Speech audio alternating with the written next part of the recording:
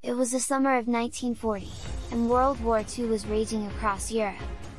Germany had launched a brutal campaign of invasion, sweeping across neighboring countries and capturing hundreds of thousands of Allied soldiers and sailors at Dunkirk. Winston Churchill knew that Britain was next. On the brink of invasion, the Bank of England began preparing for the worst, stockpiling gold reserves and setting up an underground bank in Ottawa. And in the midst of all this chaos, a plan was hatched, a daring mission to move England's entire gold reserve overseas to Canada. This operation was no ordinary mission.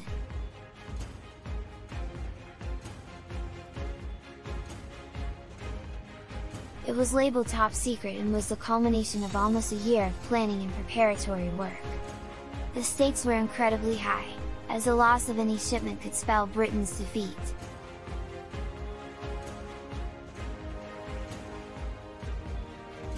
But Churchill was determined. He knew that England's gold reserves would allow him to buy much needed supplies from Canada and the United States and fund the coming war. In total, the order included almost 2,000 tons of both bullion and coins, including substantial holdings from the soon-to-be captured Bank of France. But moving this much wealth overseas was no easy feat. The convoys would also be carrying significant numbers of what were once privately held securities, which were confiscated by Churchill's government from the British public, who were forced to register their holdings at the beginning of the year. The securities, like the gold, were packaged up, shipped to Greenock, Scotland, and ready for their transatlantic voyage, estimated to be worth around $300 billion in today's value. On June 24, 1940, Churchill gave the green light, and the first of Churchill's convoys began to sail. But it was far from smooth sailing.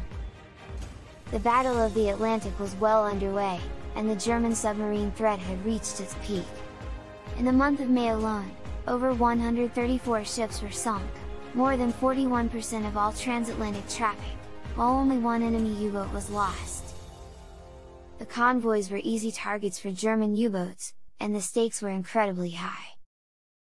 Miraculously, the first of the gold shipments aboard HMS Emerald somehow made the 4,600 kilometers crossing unscathed, arriving in Halifax Harbour sometime around 7 am on July 1st.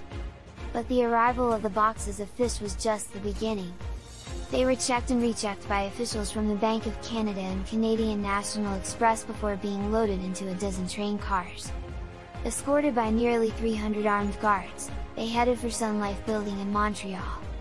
The success of Operation Fish allowed Britain to continue its war efforts in manufacturing of war machines. But it was a close call, and the mission was fraught with danger at every turn. As the war raged on, the significance of Operation Fish only became clear, it was a turning point in the battle for Europe's future.